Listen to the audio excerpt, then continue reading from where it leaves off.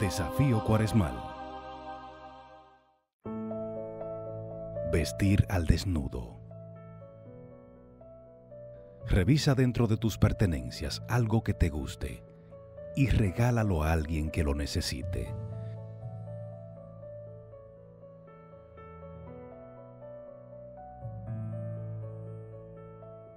Despréndete y da gracias.